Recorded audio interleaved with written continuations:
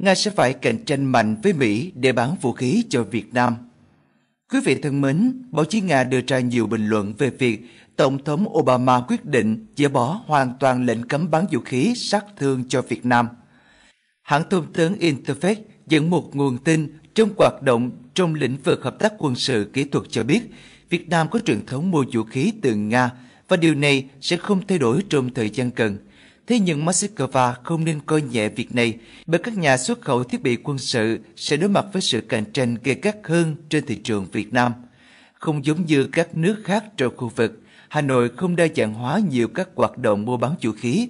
Tuy nhiên, các nhà xuất khẩu vũ khí của Nga không nên lơi là. Thực tế mới diễn ra sau khi Tổng thống Obama quyết định dỡ bỏ toàn bộ lệnh cấm bán vũ khí sát thương cho Việt Nam sẽ đặt các công ty xuất khẩu của Nga và một tình thế phức tạp hơn khi nhìn từ quan điểm cạnh tranh. Trong khi đó, hãng thông tấn TASS dẫn lời của ông Anatoly, phó giám đốc cơ quan hợp tác kỹ thuật quân sự Liên bang Nga đã khẳng định quyết định dỡ bỏ hoàn toàn lệnh cấm bán vũ khí cho Việt Nam của Mỹ sẽ không ảnh hưởng tới việc Nga cung cấp vũ khí cho Việt Nam.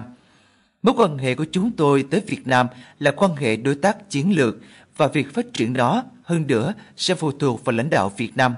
Tôi cho rằng điều này sẽ không làm ảnh hưởng đến việc xuất khẩu vũ khí của Nga. TASS cũng nhận định Việt Nam là nhà nhập khẩu vũ khí lớn của Nga.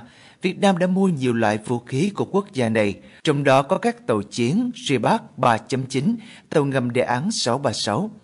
Đồng thời Việt Nam cũng đóng các tàu tên lửa của lớp Monija, dự án 12418 theo giấy phép của Nga.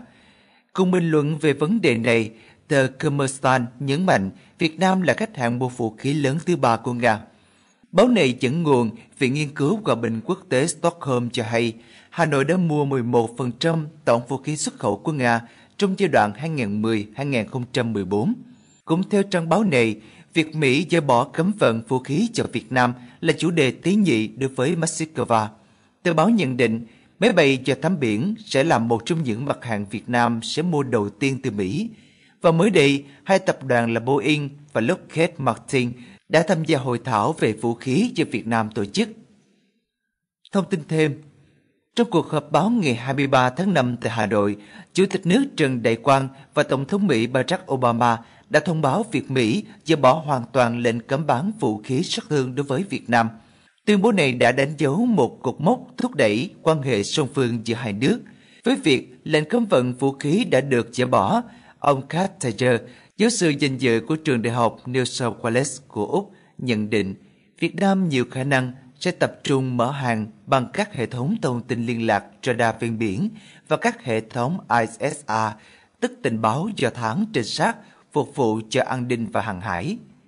Ông Thayer cũng nói thêm rằng việc Mỹ dỡ bỏ hoàn toàn lệnh cấm vận vũ khí cũng sẽ mở đường cho Việt Nam tăng cường hợp tác quốc phòng với các đồng minh và đối tác chiến lược của Washington, trong đó có Singapore, qua đó hướng tới một tầm nhìn chung trong lĩnh vực an ninh hàng hải.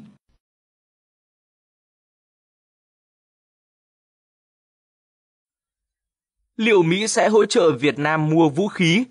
Sau khi Tổng thống Obama tuyên bố dỡ bỏ hoàn toàn lệnh cấm vận vũ khí đối với Việt Nam, hãng tin CNN đã có ngay một bài phân tích đánh giá về vấn đề trên.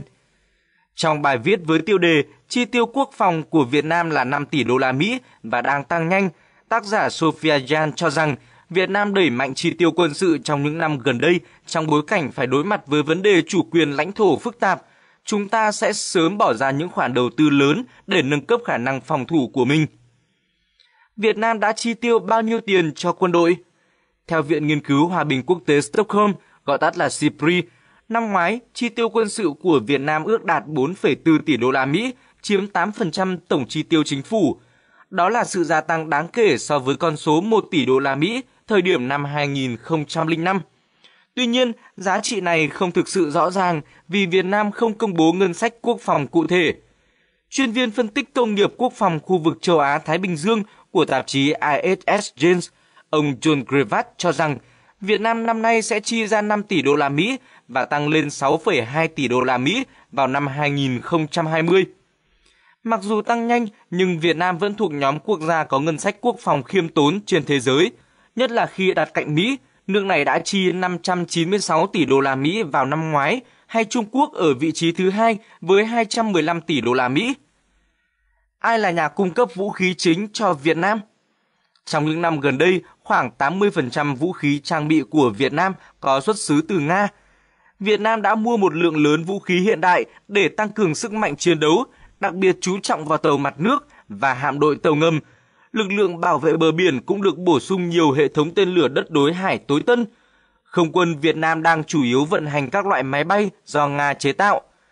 Moscow dự kiến sẽ vẫn giữ vững vị trí số 1 nhưng một vài quốc gia châu Âu và Israel đã bắt đầu xâm nhập sâu vào thị trường. Ông Grevat nói, việc này mang đến một cơ hội cho Hoa Kỳ để làm điều tương tự. Mỹ đã bán cho Việt Nam một số thiết bị, chủ yếu là chủng loại phi sát thương trong quá khứ.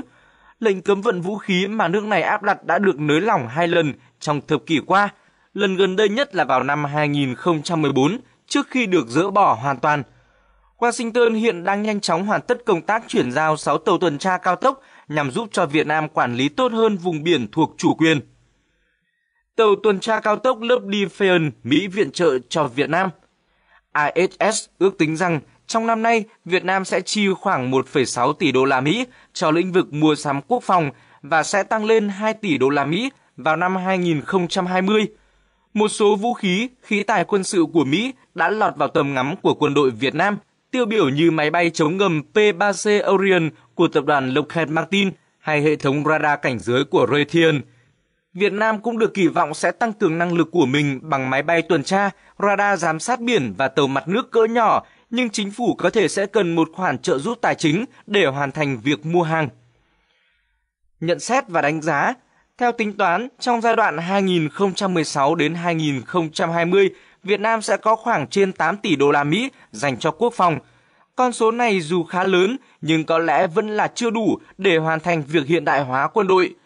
Do vậy, nhiều khả năng chúng ta sẽ cần thêm các khoản hỗ trợ tài chính từ phía đối tác dưới hình thức cho vay hoặc trả chậm trong thời gian dài. Điều này có thể xảy ra nếu Việt Nam quyết định ký một hợp đồng vũ khí lớn. Rất may là nhu cầu của chúng ta vào thời điểm hiện tại được đánh giá là không hề nhỏ, Đặc biệt đáng chú ý gồm có lỗ hổng tiêm kích nhẹ cần được lấp đầy hay trực thăng vận tải hạng nặng cho bộ đội đổ bộ đường không.